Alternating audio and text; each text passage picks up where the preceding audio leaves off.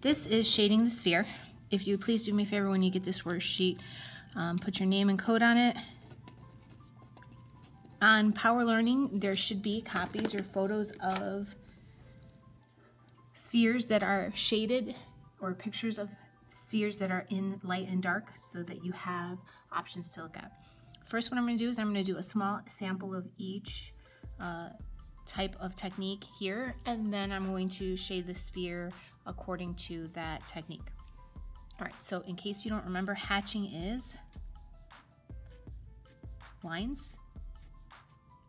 And remember with pencil, the darker you want them, you can either do more of the type of lines and less pressure and or less lines.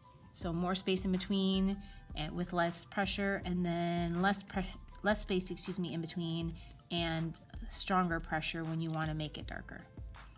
So that's hatching. Cross hatching is where you hatch and then you do some kind of crisscrossing to the hatching to make it darker. And again, the same idea of hatching applies. Um, you can do more space and or lighter pressure to make an area look lighter.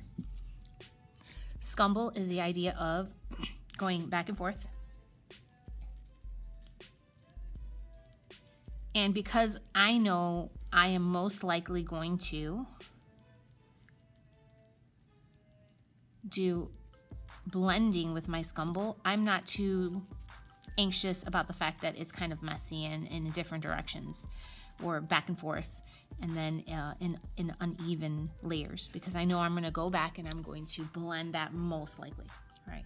Circular, circularism, excuse me, is when you're going in small little circles and you can either show the texture of the circles. So I'm going to go to this side and kind of show the texture of the circles. It could also be scribble. And the more I do, the darker it will go. And I can also increase the pressure and do more to make it darker or lighter.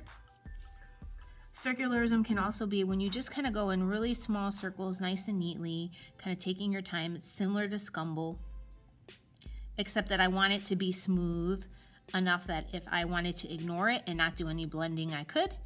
Or I could also choose to blend it this is just usually for me a little slower, a little more control um, because I want a neater technique to it versus scumble.